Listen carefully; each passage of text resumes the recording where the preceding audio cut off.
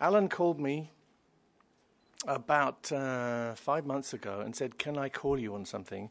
So I thought it's got to be something important. He's, he's, calling me to see if he can call me.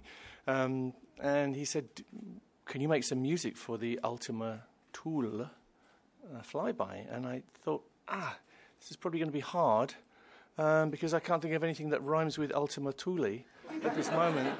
Um, so I had this doubt in my mind, but then I went away and the thing started to buzz around in my head, and I could hear some music of some kind. I could hear some music of an object plummeting through space faster than anything's ever been launched away from this Earth. And I got kind of inspired, um, but I didn't really have the lyric. Um, but gradually it dawned on me that this mission is about human curiosity. It's about the need of mankind to go out there and explore and discover what makes the universe tick. And this has been going on since the dawn of time. So, in a sense, my song, my track, my anthem became about the human spirit um, endeavoring to discover the universe.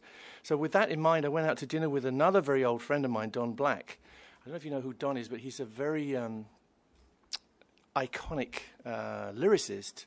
He's worked with all kinds of people way back into history, including Andrew Lloyd Webber, and uh, he wrote Born Free, which is an, an, iconic song about nature and the way we're screwing it up. Very, very forward looking song, really. Um, but I went out to dinner with him and explained what I was doing. He got very inspired and he said, Oh, this is really interesting. You know, maybe I can offer you something.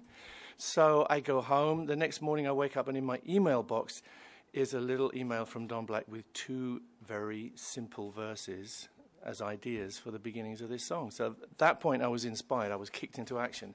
They're very simple. The idea is, I think the best ideas are always simple, you know. So what he gave me was new horizons to explore, new, new horizons. I forgot what it is now.